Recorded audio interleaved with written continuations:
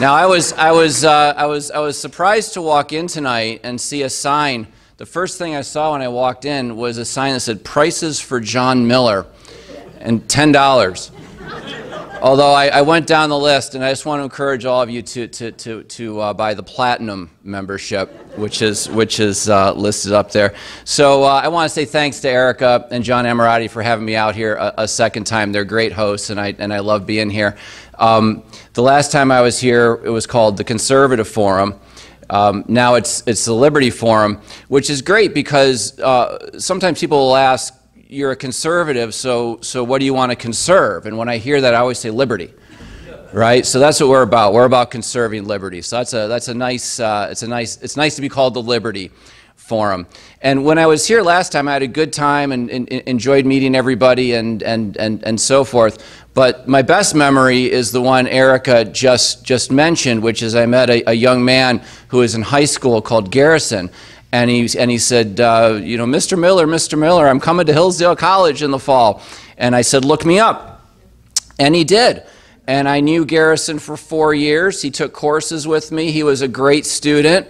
Um, I never quite tricked him into doing the journalism program, but he was involved in journalism. He wrote for the campus paper and uh, um, was just a tremendous student. And he graduated uh, last May and got his first job out of college working at HUD, where he is the body man for Ben Carson. Which, if, if you're a young person, you want to be involved in, in, in politics in Washington, D.C., is that not a great first job? Right? So I, I, I wrote to, um, and his mother's here. There's Sandra is, is here. She's wearing her Hillsdale, Hillsdale shirt. So, so, so thanks for thanks for such a great kid. But I, I, I, emailed Garrison and mentioned I was coming back here, and I, I remembered meeting him uh, those, those, those few years ago. And I said, How's it going in Washington? And, and he wrote back, he, he said a bunch of things, but he said this Dr. Carson is one of the greatest men I have ever met. Humble, wise, kind, faithful, and genuine. So working with him has been a pleasure. Isn't that nice to hear? That, that Ben Carson is actually the person you thought he was? right? Because often in politics we discover that they're not the people we had hoped they were. But but Garrison tells us Ben Carson is first rate, so that's that's uh, that's so good to hear. So uh, let's talk about fake news. Um, have, have, have, have you heard the joke about the reporter who asked a tough question of Elizabeth Warren?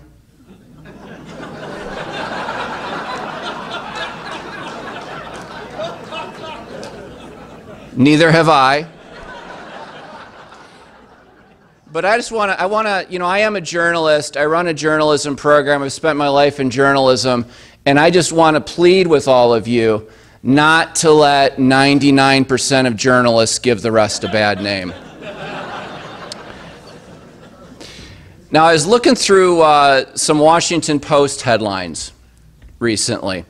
And my favorite one was from recently was from last week in the Post, and this is the headline. This is true. This is not fake news. This is an actual headline in the Washington Post last week. It says this Can Republicans relearn how to accept political outcomes they don't like?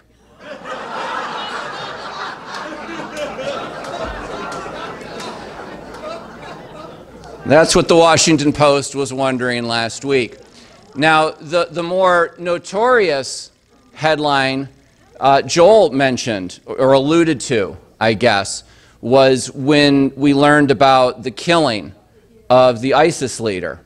And did you see the headline the Washington Post gave that? Right? It was um, Abu Bakr al Baghdadi, austere religious scholar at helm of Islamic State, dies at 48. That was the actual headline in the Washington Post. And, and I don't know what your experience of it was, but that was like the best day ever on Twitter. because, because everybody started inventing their obituary headlines, right? So there was one that said, Herod the Great, noted for his special interest in small children, dies at 77. Uh, do, you, do, you, guys know the author Brad Thor, the, the novelist? So he, he put up this one John Wilkes Booth, renowned thespian, theater goer, and passionate supporter of states' rights, dies at 26. And then there was this Adolf Hitler, vegetarian, landscape painter, and German statesman, dies at 56. Now, I think we have way too many Hitler references in our politics, right? We should avoid them, but I got to admit that one made me, made me laugh. So um, um, I, want to start, though, with, uh, with a, uh, a couple of lines about the press. Let me read this to you. The American press is, to a fearful extent, in the hands of a cowardly, mercenary, and unprincipled class of men who have no regard for truth in dealing with what is unpopular, who cater to the lowest passions of the multitude, and caricature every movement aiming at the overthrow of established wrong, who are as destitute of all fairness and controversy as they are lacking in self respect, and whose columns are closed against any reply that may be proffered to their libelous accusations. Does that, does that sound familiar? That's, uh, uh, someone said Thomas Jefferson in front. It's not Thomas and Jefferson. It's William Lloyd Garrison in 1858. 1858, William Lloyd Garrison. So, so we've been complaining about the press for a long time. There's, there's almost nothing more American than, than complaining about the press. And so for the next three hours, don't worry, I like saying that and seeing the react, you know, looks of horror. Um, um, so, so, so, so tonight I'm going to talk a little bit about the history of journalism, with uh, uh, an eye toward explaining the moment we find ourselves in right now. And uh, I also want to push back against this increasingly popular fairy tale that that the press used to be a lot better than it is today in the sense that um, you know things were so much better a generation ago. Wasn't it wonderful when we had a completely objective press that always told the truth? Right? I'm hearing that more and more. I'm hearing it especially from liberals in the media who are often complaining about the mere existence of Fox News. I'm also, I'm also hearing it from my own students at Hillsdale College who sort of bought into this idea that social media has wrecked everything in journalism and made it, made it worse than ever before. So I want to push back against that a little bit. I think the truth is, is more complicated. And one of the things I want to say about the state of journalism today is that it's never been worse and it's also never been better. And so I'll explain that a little bit as well, and then also raise what I think are a few unique challenges for, for us today, um, both as conservatives and libertarians, but really for every, everybody who's an American who wants to, who wants to follow the news. So um, a question I like to ask my students, often at the start of a semester at Hillsdale in a journalism course, is, is what's the purpose of a newspaper? What, what, is, what is the purpose of a newspaper? and, and they'll raise their hands and start to give earnest replies about, you know, informing the citizens and, and presenting facts to the public and, and so forth. And, and these are all good answers, and there's some truth in them. But I always say the purpose of a newspaper is to make money. It's, it's a business, right? It's a commercial enterprise. And we never can lose sight of that fact. It's important to recognize, and there's some great strength to that. There's also some weakness and vulnerability that comes with that when you're, when you're in the press, but we can't ever forget it. And one of, the, one of the downsides of the fact that this is a business is that you're always you know, chasing after readers and trying to get more and more of them.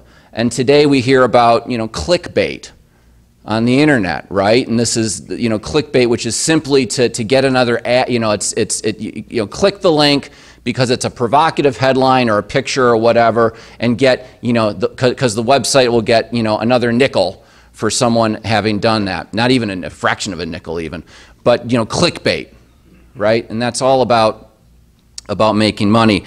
But, but journalism's always had this incentive, right? With, with um, uh, sensationalism is, is a word we've attached to this in previous generations, or yellow journalism, all about selling copies of newspapers by telling fibs, by reporting fake news, etc. It's always been there. So the purpose of a newspaper is to make money. We can't lose sight of that. This incentive has always been there and it's led to some very bad decisions and abuses of what we consider good journalism throughout history. I want to um, go back in time a little bit and go, go to the founding era of, of, our, of our country and talk about what journalism was like a little bit then. Uh, I'm going to mention three extraordinary journalists and one uh, interesting, colorful journalist from that time. Uh, one of the great, you know, sort of the founding father of journalism in certain ways in our country is, is Ben Franklin. They said of George Washington, Washington is um, um, uh, first in war, first in peace, first in the hearts of his countrymen, right? Ben Franklin was like first in everything else. And, and you know, when, when we think of what makes Franklin great, you know, what, what comes to mind? Diplomat, scientist, inventor, uh, um, politician. I mean, all kinds of things he was, he was really great at. The first thing he was, though, was a journalist. He was a printer, making money printing uh, newspapers and periodicals. This was his business.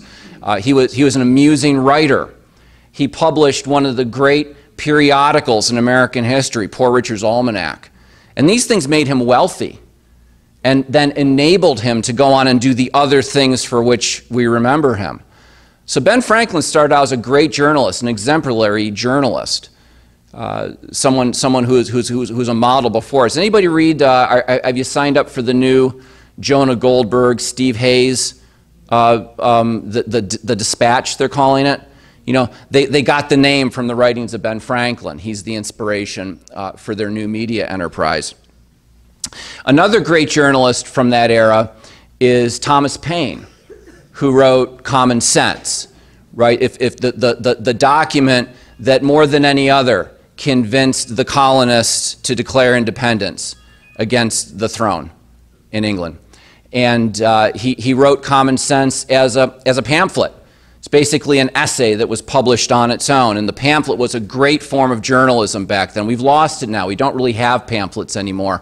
But in that era, everybody was, they were publishing their ideas in pamphlets. It was, it was a, a, a fantastic medium for debating ideas.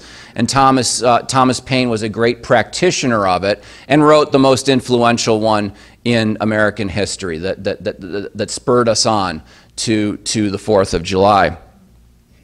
A third great journalist from that era is Alexander Hamilton, founder of the New York Post, the most, you know, the best newspaper in New York, right?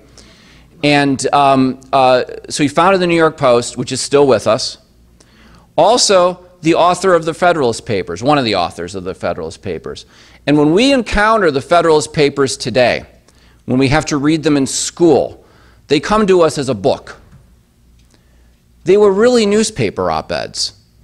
Every number of the Federalist was a newspaper op-ed. If, if, Alexander Hamilton and James Madison and John Jay were writing the Federalist papers today, they would be op-eds in the Wall Street Journal. That's how people read them back then, and we forget that because we regard them as classics of political philosophy. They were essential in the ratification of the Constitution, and we read them in books now. But they were journalism. So with those three, with those three great examples, we have uh, Ben Franklin, the printer, who was, who was a great uh, entertainer and a great businessman, a, maybe the first media mogul in American journalism. With Thomas Paine, we have um, uh, the great polemicist in, in America, the first great polemicist, you might say, in American history. With Alexander Hamilton, the, the great persuader, the great, the great persuader in, uh, uh, you know, of, in opinion journalism, you might say, in American history. And now I want to introduce you to a guy called James Callender, who was the uh, first great political hack, hack writer, hack journalist in American history. And Callender has this colorful, wonderful, appalling story which is that he came to the United States from, from Scotland. He was, he was an immigrant in the 1790s, as so many journalists actually were. Alexander Hamilton was himself an immigrant, as you know. And, uh, uh, and, and, and Callender immediately entered into the news business. And back then, all of the newspapers were closely aligned with political parties. In fact, the purpose of a lot of newspapers then was not to make money. They were, in fact, subsidized by the parties, and the purpose was to present their ideas and attack their rivals. And so Callender signed up for that and, and, and became a, Jeffersonian in the 1790s. Um, and, and, and we, we sometimes uh, put the founding fathers on a pedestal for all the great things they did. And we forget the fact that they, they, they a number of them didn't like each other. They fought with each other. You know, Jefferson versus Hamilton was one of the great, you know, divides in, in the early republic. And so James Callender comes and signs up for the Jeffersonian side. And he started publishing and writing and so forth. And um, in the early 1790s, he, he published a pamphlet which had a, had a bizarre long title. But in it, he accused Alexander Hamilton, who was the Secretary of the Treasury, accused him of financial impropriety. And, uh, uh, and basically accused him of, of, of using his position as Treasury Secretary to enrich himself through some insider trading, essentially. And so he makes this accusation in print. And we actually don't have any copies of the pamphlet that he did this in. Um, it appears as though Alexander uh, Hamilton bought them all and destroyed them. but, but we know what it said because there, were, there was a reaction to it and people talked about it and so on. We just don't have the original document anymore, unfortunately. Well, what Hamilton um, said in reply was, was you're, you're, you're, you're wrong. I've not been engaged in this insider trading. But it's true, I've been making these payoffs to this, to this figure in New York because he's been blackmailing me for having an adulterous affair with his wife. and so, and so this actually demolished Hamilton's reputation. And, and people say, you know, he, he, his life was cut short, obviously, but people say he was on the track to becoming president, but he never would have recovered from, from this accusation, which James Callender reported. In a, in, he, he actually didn't report precisely what happened, but he exposed it through his, through his rumor mongering journalism. Right? So, this partisan hack journalist undid, in many ways, the career of one of the great founding fathers.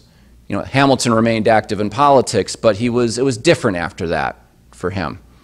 Well, Callender goes on and he, he continues writing for the Jeffersonians.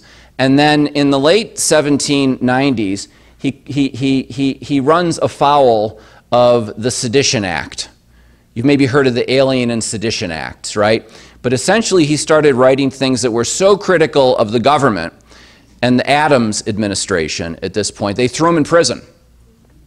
And so he spent a couple of years in prison for having criticized the government in his writing. You're probably wondering, what about freedom of the press? And so a lot of people were wondering about what about freedom of the press at that point. Um, well, the Sedition Act expired. Thomas Jefferson was elected president, our third president, and Callender exited jail at that moment. And he came out thinking, I spent the 1790s writing and fighting for Thomas Jefferson. I went to jail for his political party to advance its ideas. I deserve a really sweet political appointment. And Jefferson didn't give him one. And so Callender switched sides. He went from a Jeffersonian attack dog to a Federalist attack dog who waged war on the Jefferson administration.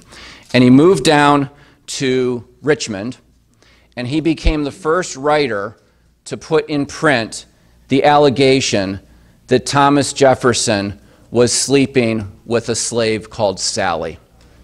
And so you've probably heard that story which we're still debating today, and which we still don't know the entire truth about. But he exposed that also. A partisan attack dog journalist. Is that the biggest scoop of the 19th century? I don't know what that is, but that's what Thomas Callender did. And you don't hear about Thomas Callender in, in, in, in many histories of American journalism. He's a disreputable figure. In fact, when he reported on Jefferson and Hemings, all he had were rumors. He had no proof. He had just heard people talking about it. So he leveled the accusation in print. First person ever to do that. Turns out he may have been right. We don't entirely know. The circumstantial evidence is good. But uh, he put it in print. So that's what journalism was like back then full of fake news, full of personal attacks, also sometimes truthful, maybe in unexpected ways. So that's important to remember. Now, as we, as we moved into the 19th century, journalism remained highly partisan.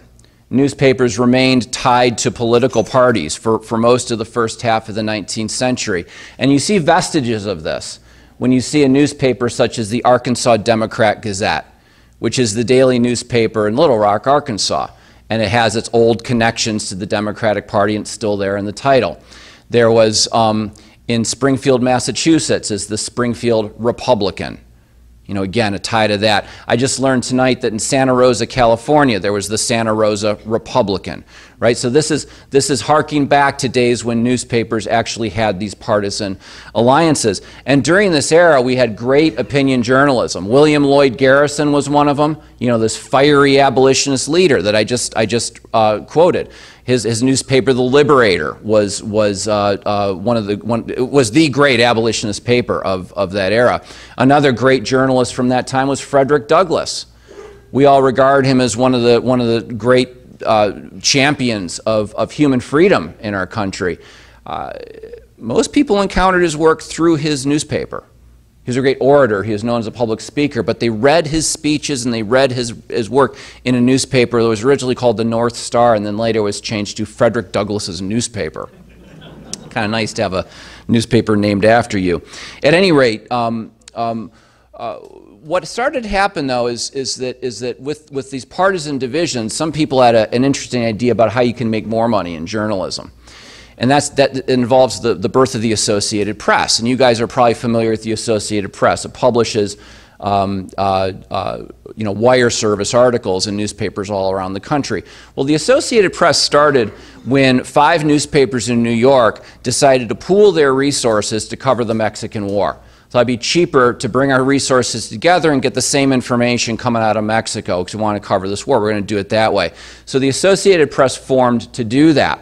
And that's what it did. A few years later, though, one of the key uh, writers for it had an insight. He thought, you know, we have all these, we have all these newspapers that, that, that, that supply information to half the country, and then these other newspapers that do it for the other half of the country based on partisan information. He thought, what if we had a company that sold our, our articles and our information to everybody? And so the idea was we're going to have objective journalism. We're going to have nonpartisan journalism. We're going to report what's happening in Washington. Every paper, no matter what their political alliance, will subscribe to our service. And that's basically what happened. They eliminated a lot of the overt partisanship that, that, that, was, that dominated American journalism, and the Associated Press is, is still around today. So, so um, um, that's where the, the, the idea of objective journalism is, is, is born and it, it picks up steam, especially in the 20th century. Now, we're also dealing with the era of yellow journalism, the era of, of Hearst and Pulitzer and the newspaper wars in New York City. Um, you know, Pulitzer, you know, the, the most prestigious award in American journalism is named after that guy. And he was one of the biggest yellow journalists of his time you know, yellow journalists, meaning, you know, fake news of the, of the 1890s. Arguably, fake news led us into the Spanish-American War. You know, with the, with, with, with, with the, uh, when the USS Maine blew up in the harbor of Havana, the accusation the Spaniards had bombed it.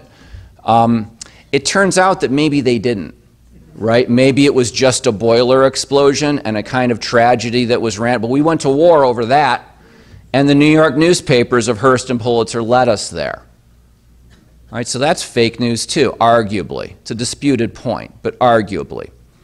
Now, as this is happening, though, there, there's more and more objective journalism. This idea that we're not going to sell to half the country. We want to have newspapers that sell to everybody, no matter what your partisan alliance. So this really gains, uh, uh, uh, uh, picks up steam in, in, in, in the 20th century. The New York uh, Times and the Washington Post are important forces in this, in this effort. But uh, how objective were they really? You know, back in the good old days when you could get your news from one of three sources on TV. And when they were picking their news based on what the New York Times put on its front page that day. Right? I mean, do you guys remember that period? And, you know, was, was it as objective as, as people are now claiming? I don't think so. I'm reminded of, of Walter Cronkite, who was once the most trusted man in America. Remember how he is called that? Who misreported the result of the Tet Offensive in 1968 and possibly turned Americans against the Vietnam War uh, permanently based on false information. Walter Cronkite, who later said he would have been delighted if George McGovern in 1972 had asked him to be his vice presidential running mate. Remember how much trouble McGovern had with his running mate? Remember the Eagleton affair and all that? And he finally wound up with Sargent Shriver. But that was the most left wing ticket in American history, at least before 2008. And, I, you know, seriously, right? And Walter Cronkite, so, so, so McGovern actually thought about asking Walter Cronkite onto the ticket. And then he decided not to because he thought Cronkite would say no. Years later, when, and this was all private, years later when this came out and someone said to Walter Cronkite, What do you think of that? Cronkite says, I would have taken him up on it in a second. He would have joined the most left wing ticket in the 20th century. Walter Cronkite, the most trusted man in America. How objective is that? And so, uh, and, and, and, on we go. We can give more and more examples of this. And uh, um, I'm reminded of All the President's Men. Terrific movie, great movie. Um, it's also had a bad effect on journalism because it encouraged a lot of young people to go into journalism who thought the purpose of journalism was to bring down a government. You know, there's always been an adversarial side to journalism. You got to be willing to ask hard questions. That's all true. But it, it, it, brought in a kind of crusader element to journalism. A lot of young people in that era uh, swept away by Woodward and Bernstein, portrayed on film as, by, by, Robert Redford and Dustin Hoffman, right? And what's a terrific movie. It's a fun movie to watch. Um, but sort of got swept away in thinking this is, this is the job of journalism, is to bring down a government, right? That's what you need to do. So they went in and started to, to think that way and influence that way. And if you think I'm overstating things, do you remember Dan Rather? in 2004 with Bloggergate, right? Dan Rather, the successor to Walter Cronkite, the most trusted man in America. Dan Rather, one of three people from whom the majority of Americans got their news in the 80s and 90s. What he did, as I like to say, Dan Rather putting the BS back in CBS, right? But you remember they called it Bloggergate because, because he reported these accusations that President George W. Bush had dodged his military service. Very serious charge done in the heat of, an election, of, of, a, of his reelection, of, his, of an election season. I think it came out like in September of 2004. Uh, the kind of charge that, if true, would have ended a presidency and maybe should have ended a presidency if true. Right? He reported it as fact, and then the bloggers found out the truth, didn't they? They started looking at the precise claims. They figured out things like the letter you're showing us, Dan Rather, can't possibly be true. It can't possibly be an actual document from that era because it has a zip code and we weren't using zip codes back then. And there were all kinds of forensic evidence that these bloggers were bringing into the argument, right? And eventually it ended Dan Rather's career, as it should have.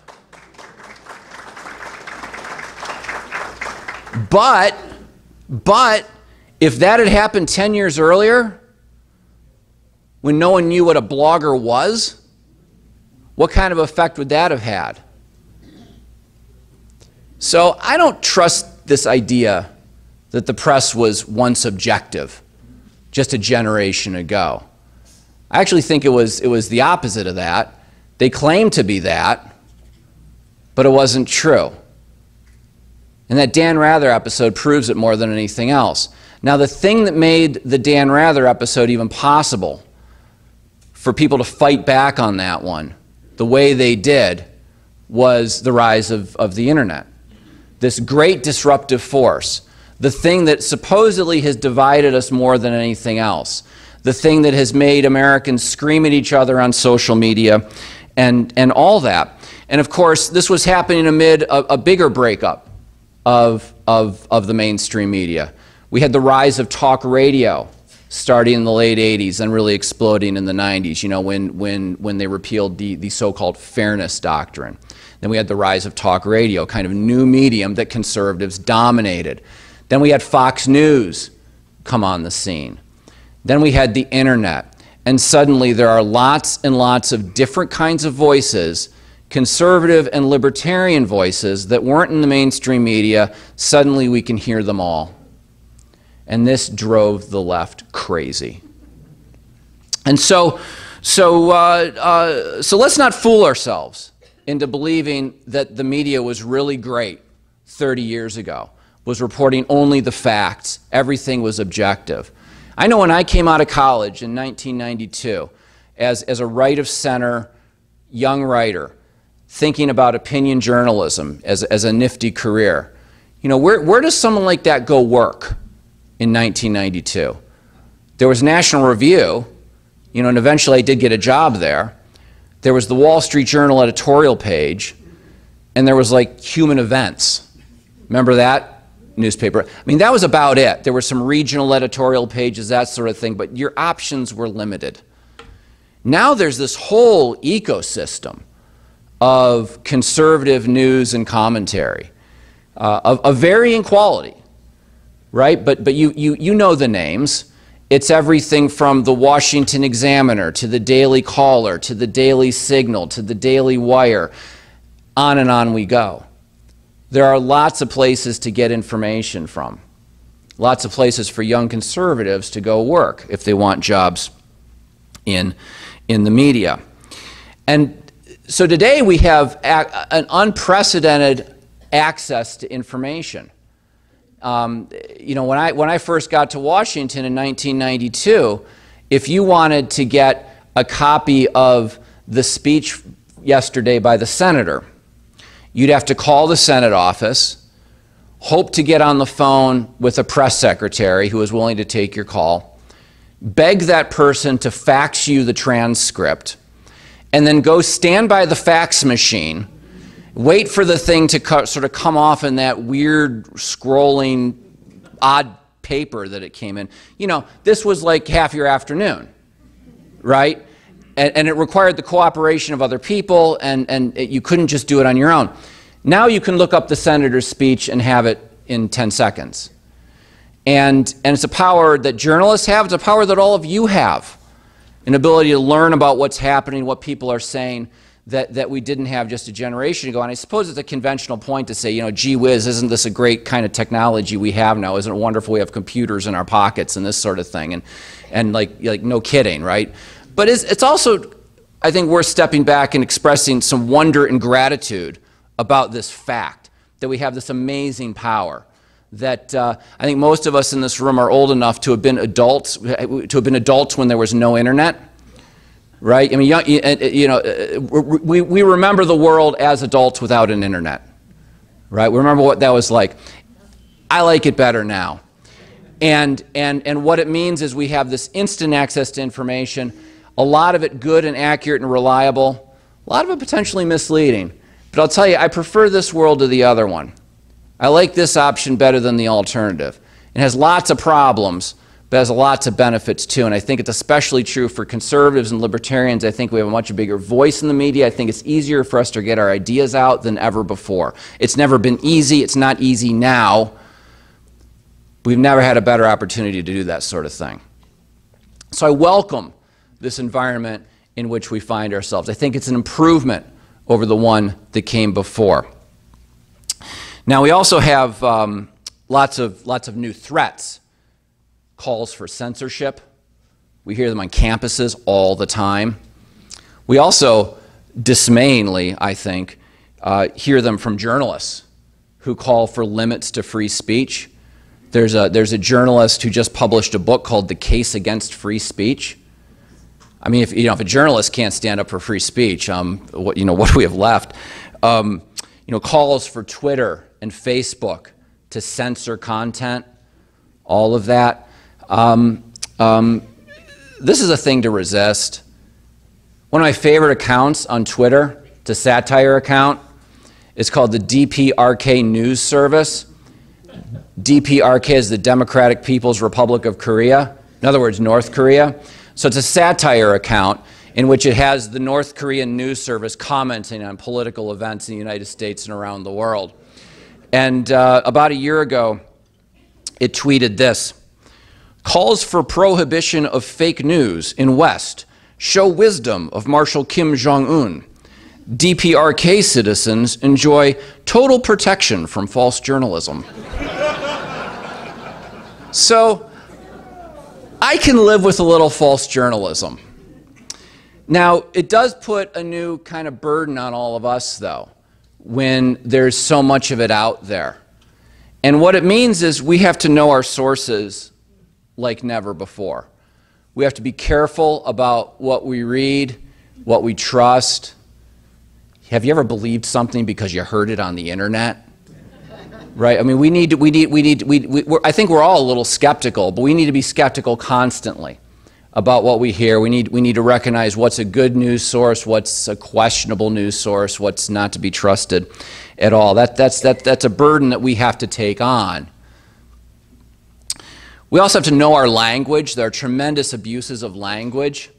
Here's something I read last week in the Wall Street Journal. Great newspaper. It's my favorite newspaper in the country mostly because of the editorial pages. But you know how on the front page on the left-hand side they have like their news briefs? Here's what, here's, here's what one of them said last week. Iranian conservatives on Monday celebrate the 40th anniversary of the U.S. Embassy siege. Iranian conservatives. So these are the Islamic revolutionaries, and we're calling them conservatives. Have you ever noticed that? That when the media talks about other countries, the conservatives are always the bad guys? I remember when I was a kid, this was a point of tremendous confusion for me when I was a teenager, and I'm not kidding. In the 1980s, growing up, reading accounts about the Soviet Union and hearing about the conservatives in the Kremlin, right? They were the hardliners. They were the worst guys. They were the ones who wanted to go back to Stalin, right? And I remember the, you know, being 15 or whatever and reading about this in Newsweek and thinking, but I thought Reagan was a conservative. Shouldn't he be friendly? You know, aren't they, you know, but no, no, no. Conservatives are always the bad guys. Always, everywhere. You read about it. They always do that. And here it is the Wall Street Journal referring to Iranian conservatives. I'll get, I'll, I will allow, there's a, there's, there's, there's a kernel of truth there in the sense that maybe they're the most conservative and in, in a sense of, of, of, a fundamentalist belief in Islam, whatever. I think this, is a, this, this, this, this term is deliberately used and misused to confuse people. Conservatives are always the bad guys. So we need to watch our language very carefully. And that brings me to, to George Orwell, another great journalist. You know, we think of George Orwell as a novelist the author of Animal Farm in 1984. And he was those things. But he was his whole life a journalist. He made his living by writing for newspapers and magazines as a kind of literary journalist, essayist, and, and, and so forth. His, his great success came at the end of his life, but he spent his life in, in journalism. He's um, um, sometimes called, I, I, I, like this phrase, it's not mine, but I've heard him called um, uh, every conservative's favorite liberal and every liberal's favorite conservative. And, and, you know, he was a highly political writer. And it's hard to find political writers who are, who are admired across the political spectrum, but George Orwell is one. Right? And his politics were a little confusing at, at times. Um, he did his whole life maintain that he was a socialist. Uh, but I think the best description, is an anti totalitarian. But at any rate, uh, widely admired by all kinds of people. He wrote a book um, in the 30s called An Homage to Catalonia. Has anybody even heard of it? Okay, a few of you have. In his lifetime, it sold like 700 copies, right? Nobody read it. And it's, it's his memoir of, of the Spanish Civil War. And he, he went, you know, when Spain was, was, was having a civil war in what was, what was a proxy battle between fascism and communism before the Second World War, Orwell went to fight on the side of the on the side of the the socialists, and he joined a militia, and he actually fought. He got shot in the neck and was nearly killed. And, and when it was all over, he, he wrote his memoir of this experience, and it was critically important because it was in Spain he recognized that he had enemies to his left. He recognized that the Stalinists were up to no good in Spain, that the communists were up to no good, that they were enemies of freedom. And it was the first time he had that realization. It really opened up his eyes. So this book is, a, is essential in his own political development. It helped allow him to go on and write the other books that we all admire so much. And Orwell has a great line in, in an homage to Catalonia where, where he, he, he's, he's just met a, a, Russian propagandist who has come to Spain to spread com, you know, communist ideas and so forth. And he said, um, he wrote this, Orwell did, I watched him with some interest, for it was the first time I had seen a person whose profession was telling lies, unless one counts journalists. So, so Orwell was used to fake news. He encountered it all the time. And in fact, he was, he was distressed by the fact that he thought, he thought every reporter was getting the Spanish Civil War wrong. He thought the British reading public got misinformation constantly about what was really happening and the truth of it. He said, "I saw it with my own eyes, and uh, it changed. It changed the way the way he thought about it." Orwell um, went on to write a lot, and and one of his great essays is called uh, "Politics in the English Language," and I have all my students read it. Think, in fact, I think I had Garrison read it twice in different classes. But at, at, Hillsdale College, I make all of my students in journalism read this essay by Orwell because, and you all should read it, because it's, it's a great document about truth telling and, and the way we often manipulate language in, in, in politics. And what he fundamentally says is, is that language should be a tool we use to communicate the truth. A simple enough idea. But he says all too often, what happens is that we become tools of language, and language controls the way we think. And so he talks about this, this, is, this is why cliches are bad, because they're, they're phrases that we kind of haul out to express things in, in, in a lazy fashion, and that's language controlling us. But he says, in politics, it's particularly deadly. And this idea, of course, finds itself in his novels when he, when he writes of Newspeak in, in 1984 and Doublethink and all that kind of stuff. Um, but in this essay, he goes on and he has this uh, uh, um, discussion about all the ways we can abuse language. And of course, we're, we're doing it right now, for example, when the Associated Press, whose history I have just uh, briefly recounted, a few years ago, you'll, you'll, you'll, you may remember, said in the AP Style Guide, which is the style guide that dictates how 98% of all journalists write their prose, the AP Style Guide says we'll no longer use the term illegal alien. We're going to ban that phrase because, you know, people can't be illegal and, and, and so on, right? But uh, tell me that that's not a political choice. Tell me that that's not a choice meant to, to shape the way we debate these subjects because it is. And it's an example of using language to control how we think. It's a way of saying you can't use that term to describe this thing because it may influence what you think. That's what they're about. Tremendous abuse of power. So that happens in our own world right now. Orwell, in this essay, has some great examples. He uses the word pacification. Remember how? Remember what pacification was in Vietnam? The word pacify means, means to bring peace to. You know, when we were pacifying in Vietnam, we were bringing war to it. It's the exact opposite of what the word means. He says we do this in our politics all the time. When, when a thing means the exact opposite of, when, when the word is the exact opposite of the thing it describes. It's controlling how we think about it. I mean, who could be against pacification? It sounds so lovely, right? But in that context, it means bringing war. And so we have other examples of this, like um, um, is everybody against the death tax? You know, most Americans are against the death tax if you poll them. If you poll them on the estate tax, you know, they're for that. right? It's the same thing, right? And if, if you change the question, you change the opinion. And so everybody's against the death tax because it's unfair to tax people when they die. And then everybody's for the estate tax because it sounds like you're, you know, you're, you're soaking the man, right? That if, if, you're, if you're so wealthy that you have an estate, surely you can share a little bit of it, right? It's the same thing. And yet our view of it changes depending on, on which term we use.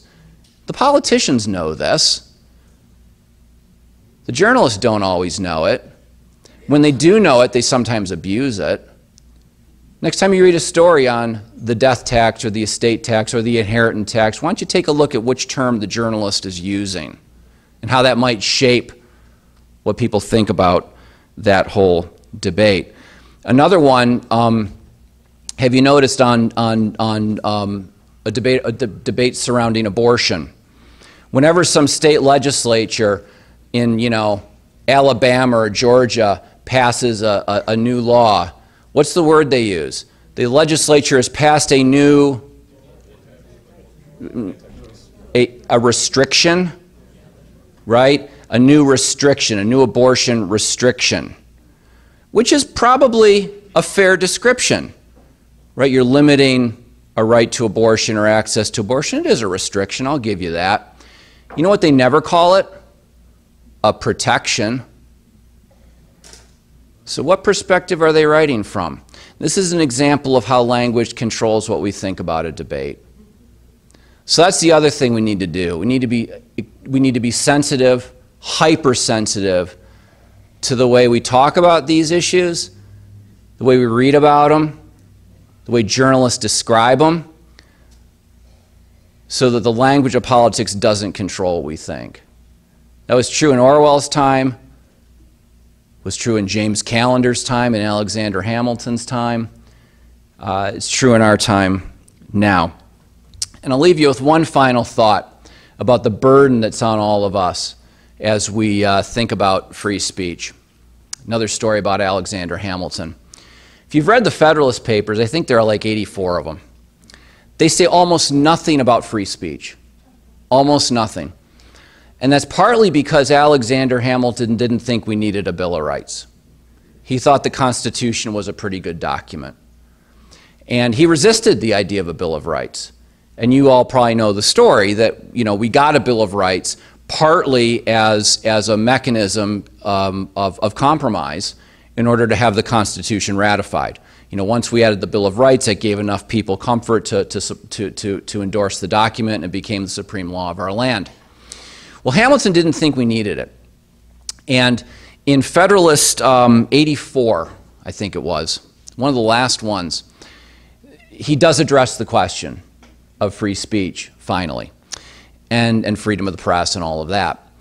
And he says, he says, you know, it doesn't matter what any document says, what any amendment says. There's another line somewhere else in the, in the Federalist Papers about, you know, parchment barriers, you know, just because you write something down, how important is that really? What, but, but what he said in this, in this context was, it doesn't matter what an amendment to the Constitution or Bill of Rights will say about freedom of speech or freedom of the press or any of that. He says what'll matter is whether the people really want it. Because if they want it, they'll get it. They'll make sure they have it. If they don't want it, they won't get it. It's all on the people. It's not what the Constitution says or doesn't say. And I think he's right. I'm also glad there's a First Amendment. I'm glad they went ahead and made that compromise, you know, just in case. Um, but that's what he said, and I think it's true. And we'll have free speech and freedom of the press if we want it. We'll still get some fake news. We'll get a lot of unfake news if we're vigilant and care about what we hear and what we consume. So, um, um, with that, in conclusion, I'll just say uh, Epstein didn't kill himself.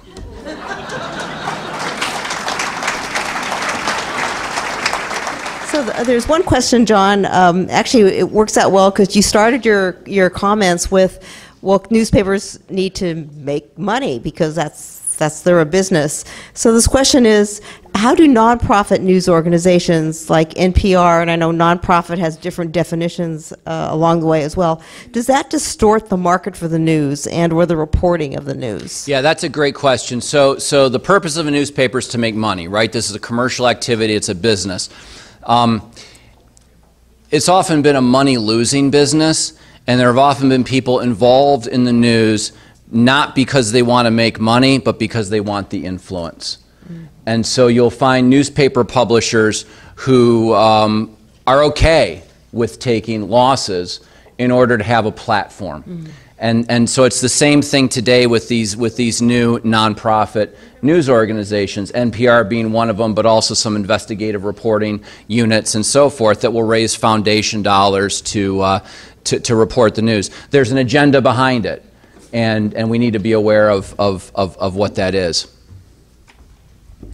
Bill Buckley always said of, Nat, you know, National Review was for many years a for-profit magazine, and everybody kind of laughed at that. And Bill, you know, Bill Buckley said National Review exists to make a point, not a profit, and, and he was willing to sustain losses in order, in order to do it, although it was, uh, it was technically a, a, a business for, for many years, and now it's, now it's owned by a nonprofit. So this is almost the, you know, the opposite approach. What's your opinion of expanding the libel laws for uh, against newspapers and journalists? So there's there's such a thing as too much free speech. And yeah, I'm, I'm, I'm, I, I kind of like American libel laws where where they're, they're quite weak. Um, uh, when, when, I, when I read about the uses of libel laws in other countries like the UK, um, it, it, it, it does give me the shiver sometimes, the way, the way that, that can be abused. So I, I, I, I like our, our weak libel laws that, that, that, that require, um, that they essentially require um, uh, real, real malfeasance. In other words, um, not, not a mere mistake and um, you know, gross, gross error at the same time. We spoke a little about the power of language, whether you're restricting, protecting, and, and what that could do. Uh, the qu next question is how do we fight those who describe Thanksgiving as Indigenous Peoples Day and the power of language? Well, that's, I hear that more connected to, to, to Columbus Day than, oh, than, than, than Thanksgiving. But um, um, I, what do you do? I mean, we keep calling it Thanksgiving, I guess, or, or, or, or Columbus Day, and, and, and, and, and use it by that name also have fun with them, right? It, it, um, um, um, that that Indigenous Peoples Day strikes me as a you know something a few people on campus want. Yeah. It's like not, you're trying too hard. Yeah, that's just yeah. not, not natural. Well, here, here's a technical question. Someone in the audience would, would like you to repeat the name of Orville, Orville's essay. Oh, it's, it's called Politics and the English Language. And it's, you'll, you'll find it in, in any, any collection of Orwell's essays it, will be there because it's the most important essay he, he ever wrote. Uh, it's also free on the internet. You can, you can look it up and get it that way. Um, it's, it's really great, has great just some general writing tips that are really good, and then the second half is all about politics and uh, uh, what, a, what a useful document. I'll tell you quick, another quick story about George Orwell. Um, when I was um, uh, working full time with Nat National Review, in 1999 or something, we, um, we, we wanted to put together a list of the 100 most important nonfiction books of the 20th century. This was, you know, it was 1999. Everybody was making their 20th century lists, right? And so we wanted to do the, the 100 most important nonfiction books of the 20th century. So we, we convened a panel of, of experts, historians, and um, um, scholars and other people. And of course, they were of a, of a, National Review flavor, as you might imagine. You know, the liberals were going to have their lists, and we were going to make one of our own. And so I ran this project, and it involved sending out ballots to all these people, and it had ranked, and you know, we had number all these equations and this complicated scoring system. But the results came in, and we tallied them. The 100 most important nonfiction books of the 20th century. What do you think was number one? No, that's a novel. 1984 is a novel. This is nonfiction. I haven't heard it. It's, it was Winston Churchill's Second World War, the six volume memoir of the Second World War. That came in number one. Number two, was the Gulag Archipelago by, by Solzhenitsyn, his, his, you know, the, the story of, of the gulags in the Soviet Union. Number three, nope, that was on the list though, but it was, it was, it was not in the top 10. Number three was an homage to Catalonia by Orwell. I remember getting that result and I'm like, what? I, I'd like heard of the book, but I didn't rec, you know, but, but this is, this is the book that, that, is, that has become, um, in the last 20 years or so, has really risen to posthumous, to, to, to, great, to great posthumous fame. Number four was Road to Serfdom by Hayek. And number five was Orwell's essays, his collected essays. So Orwell was three, two, two of the top five. You know, not bad, George. Yes. Well, here's a softball for you. You commented that the press was biased towards attacking presidential power. Where were they during the Obama administration? We're still looking. they're, they're currently on the campaign trail with the Democratic uh, presidential candidates. I do then.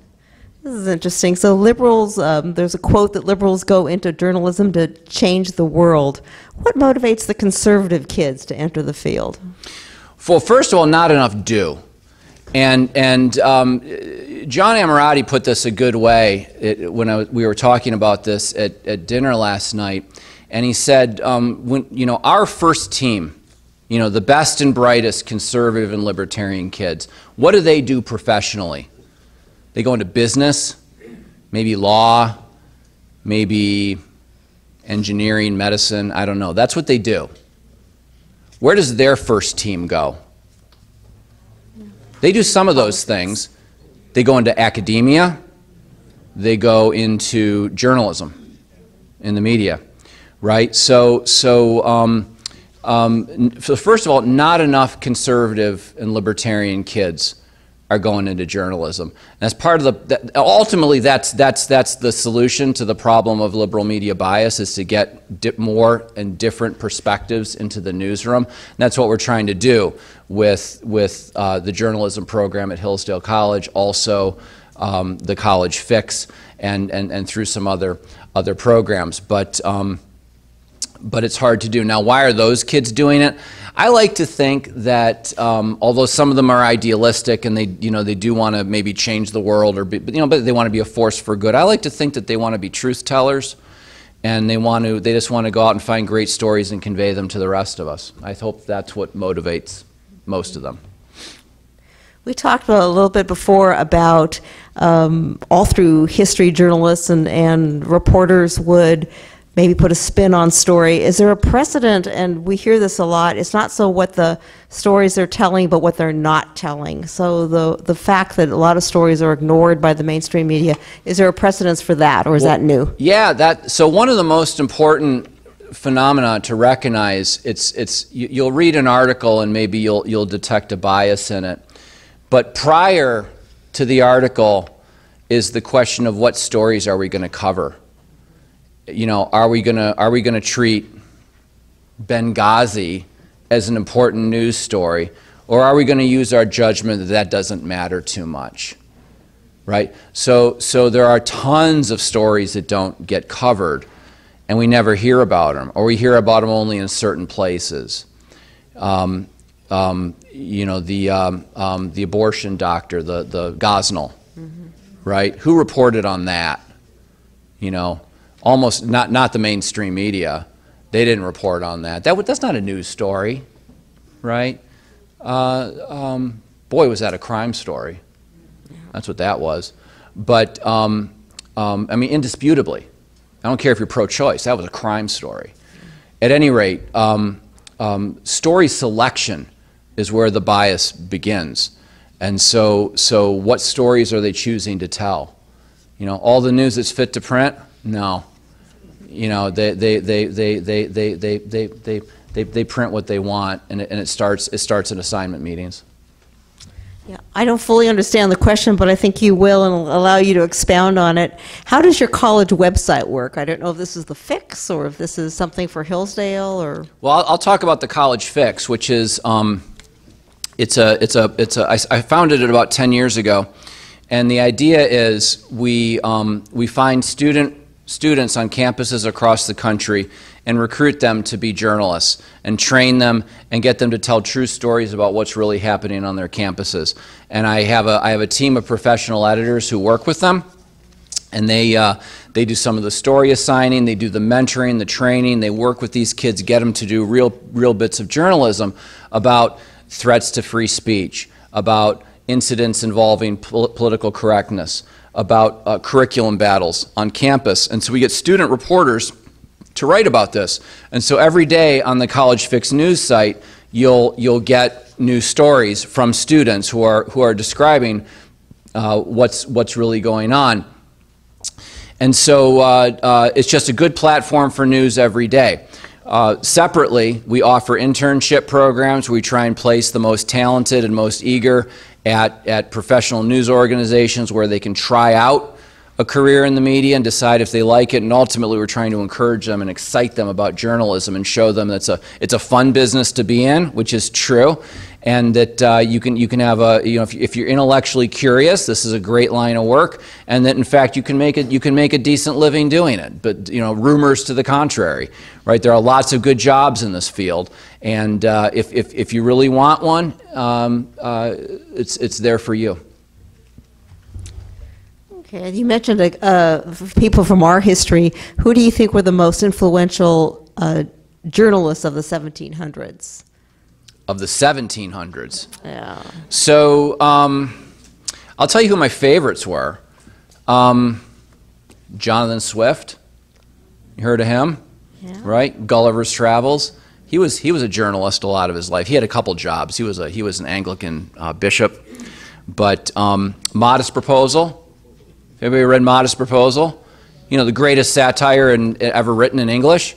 Um, that was a pamphlet right? Like, like Thomas Paine's Common Sense. That was a pamphlet. And he was making an argument about how to, how to, how to deal with the problem of poverty.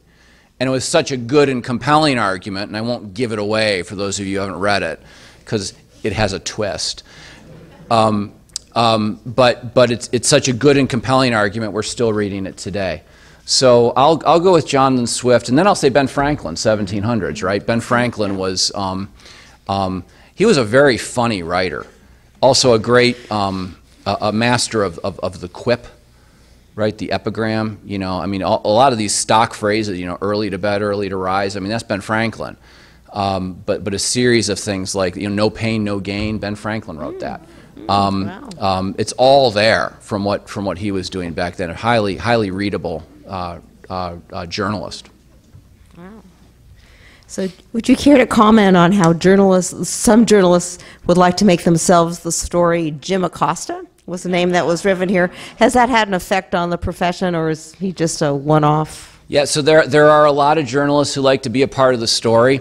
When that's when that's done well, you get someone like Tom Wolfe, mm-hmm. right, and sort of the the, the new journalism, right. Um, that can be done well. Um, often it's done poorly and and you get you get you get people who are who, who want to be stars as opposed to writers and truth tellers and um, make spectacles of themselves and and Jim Acosta is, is probably the biggest contemporary abuser of, of, of, of that. You must have access to uh, people at other academic institutions that do what you do. Do you feel that they they try to teach journalists to be more neutral or both or show both sides, or is it just damn the torpedoes, full speed ahead for the left? I, I got to say, I'm, I'm not. I, I, don't really know that much about how they do journalism on other campuses. I, I was enough. hired. I was hired to come into Hillsdale College, and we had a. You know, our program has a mission statement, and, and which I read and which I, I believe in, and um, um, uh, and, and so we just start, you know, started doing things that, that I thought made sense. And, and one of the things we do that I think is essential is uh, you learn journalism by doing journalism. In other words, we don't want kids sitting in classrooms hearing lectures from me all the time. They, they get a little bit of that. But, but we mostly want them working on the campus newspaper and working at the campus radio station because we, let, uh, we want the experience to become the teacher. And, and journalism is a thing you learn by doing. It's kind of like a trade that way.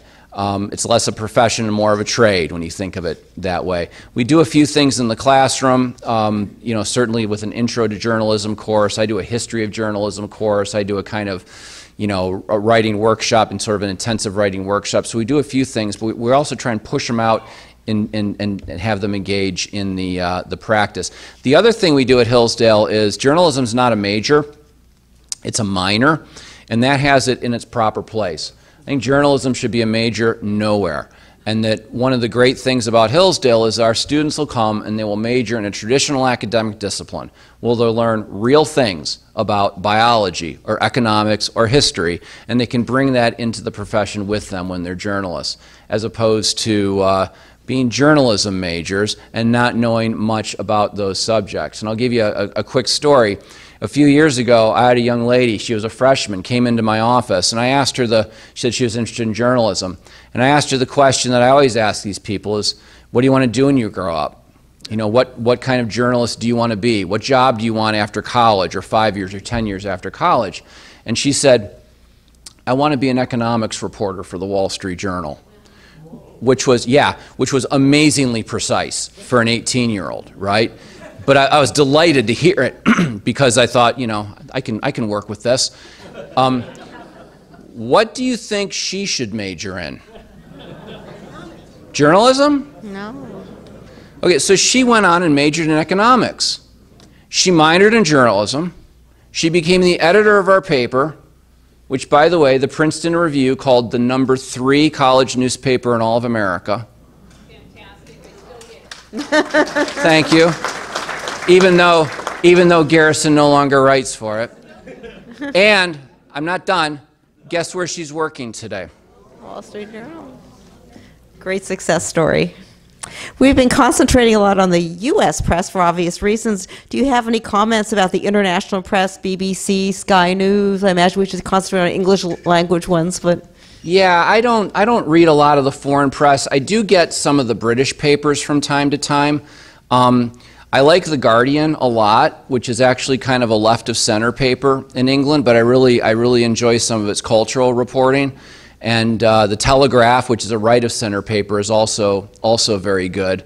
Um, a little harder to read. They, their, their paywall is um, tougher, to, tougher to penetrate. Um, um and I'll say this, by, so, so I, I, but I don't have a lot of experience with, with, with, with, with the foreign press. And I'll say one thing. Um, um, I, I hope we can get into the habit of paying for journalism again right? We've over the last generation we've gotten we've gotten we've gotten the idea that the journalism is free, right? That you can read everything online for nothing.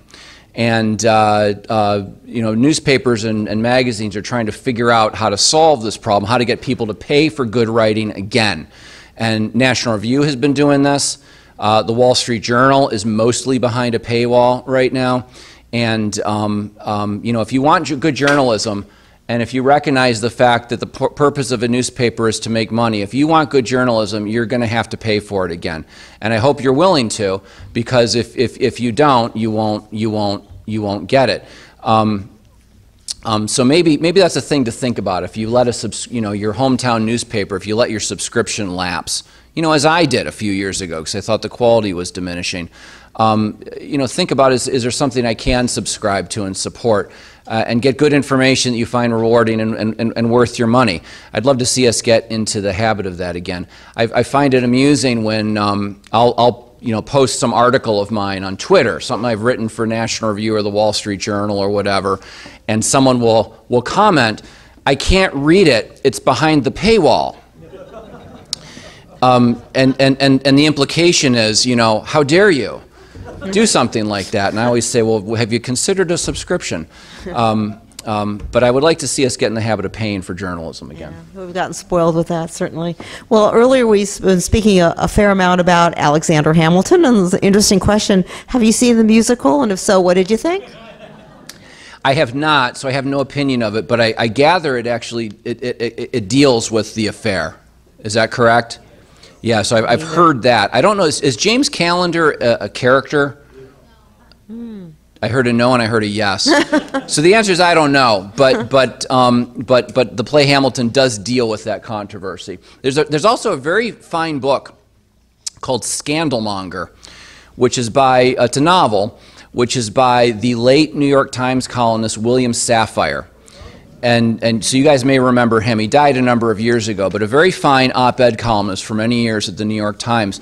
It's a book called Scandalmonger, which is about the journalism of this period. And it talks about uh, the, the, the Hamilton affair, it talks about um, uh, Jefferson and Hemings, and, and James Callender is a major character. So it's a work of fiction, and it takes some liberties with what happened, but it's actually very, uh, it, it, he, Safire is very conscientious to stick to the facts of history as we know them.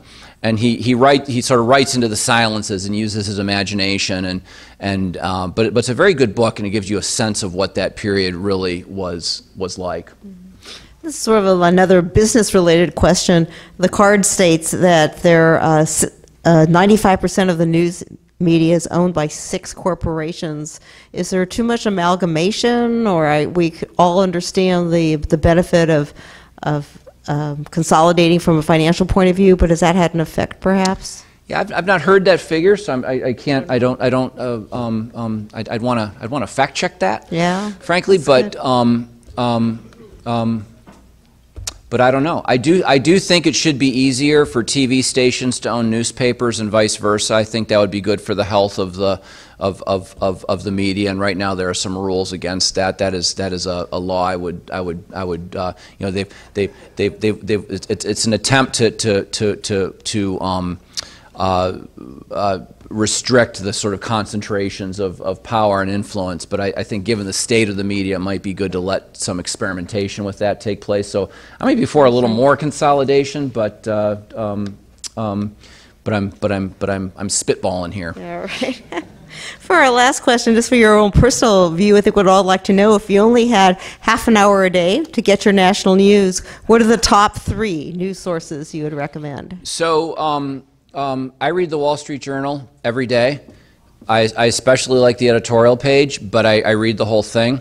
Uh, I, I, I check out National Review, of course, um, partly because it's my employer, but also because I think it's still a really good product, especially the magazine. I think is uh, very good. And I read the New York Times every day. Um, um, I think it has. Uh, I, I I like to know what it's saying.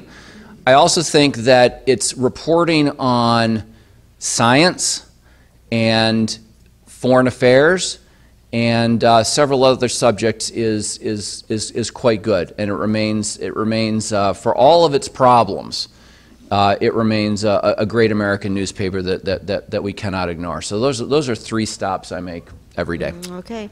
Nice wrap up. Thank you very much for coming. Thank you, John Miller.